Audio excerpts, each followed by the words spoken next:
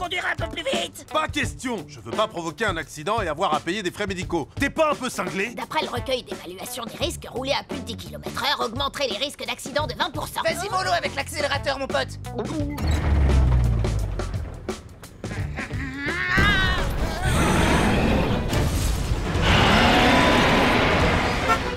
Allez, dépêche-toi, on y est presque, avance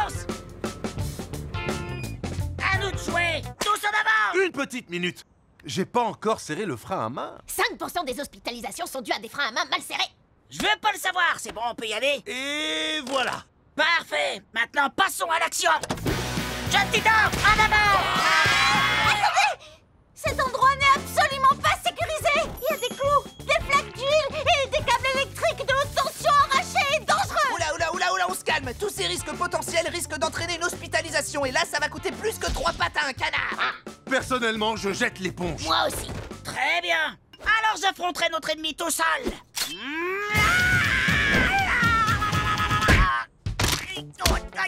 Stop Venez m'aider, amis Pas question, mon pote Compte pas sur nous C'est une véritable catastrophe Robin va devoir payer une énorme franchise. Il va être obligé d'avancer une somme monstrueuse. Oh Je vous rappelle qu'on a déjà payé une somme énorme pour obtenir notre couverture. Vous pensez pas qu'on devrait au moins essayer d'en avoir pour notre argent, là? C'est vrai que ce serait vraiment du gâchis Je vous parie que si on fait très attention, on peut stopper Cinderblock et s'en sortir sans la moindre égratignure. Et ça nous donnerait un pourcentage de survie de 66%. T'es la pro des statistiques, ma belle Allons vite faire sa fête à cet imbécile